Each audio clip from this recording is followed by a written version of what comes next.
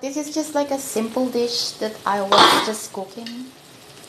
Ah, yeah, there you go. We call it uh, adobong kangkong, but I add a little bit of eggplants in here in my dish.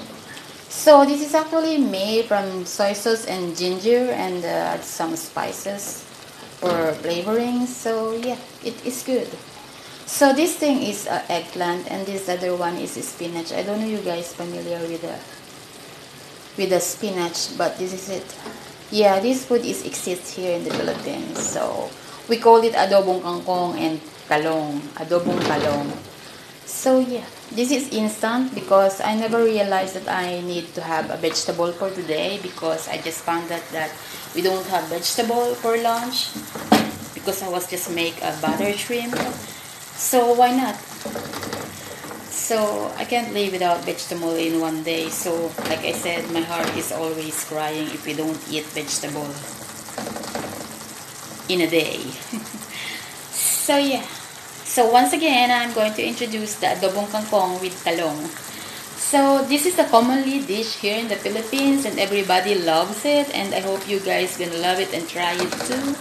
So we are different world, we are different nation, we are different language, we are different people. So I think every every food is exists in in every country. So you know we need always wanted to have uh, something new to eat. So hope you guys try this someday. So I'm going to put the, all the ingredients description down there below so that you can you know you guys I try this someday. So yeah.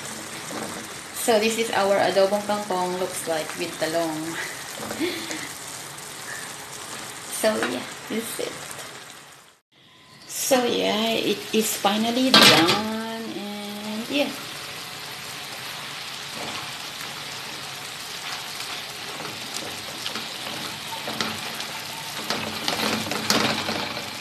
So yeah, it's done.